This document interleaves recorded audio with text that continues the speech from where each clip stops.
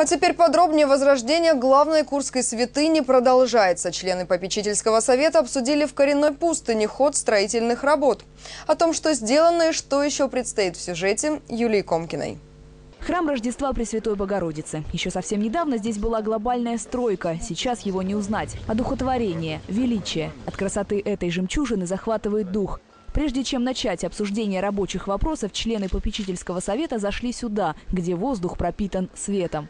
Уникальная галерея, ведущая к храму «Живоносный источник». Ее фигурным сводом вернули исторический облик. Основная работа завершена. Остается вот чисто значит, сейчас э, прошпаклевать. Это примерно 5% от общего объема работы. И мы э, значит, свои задачи. Пока галерею освещают лампочки, потом их заменит паникадила и бра.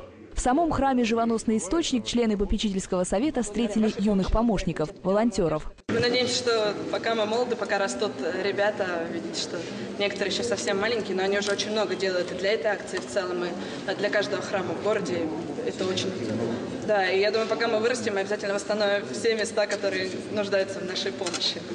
Ну, надо сделать так, чтобы те, кто потом расти будет, чтобы они тоже этим занимались. Храм, где в самом центре бьет святой источник, тоже будет восстановлен в первозданном виде. А над источником планируют установить мраморную ротонду. Огромная вот эта лестница, галерея, которая спускается э, к храму, и на которой, что интересно, могут стоять тысячи людей, и всем им будет видно богослужение, видно алтарь и царские врата.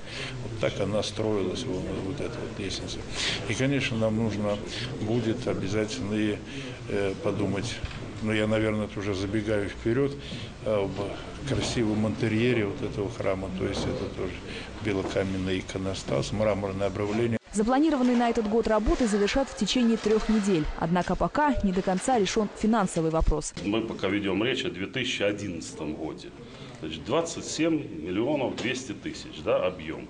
Вот. Сегодня есть 15, плюс там полтора это на роспись храма. Уже есть. Тоже собрано, да, конечно. Но тем не менее этого недостаточно, естественно, поскольку работа уже на финише. Да. Сегодня нельзя просто терять время, ведь э, у строителей тоже лучше, когда не в 30-градусный мороз работы завершаются. Коренная пустынь – это уникальный ансамбль. Как заметил владыка Герман, это красота, которая способна возвышать души и сердца людей. Помочь вернуть монастырю первоначальный облик может каждый.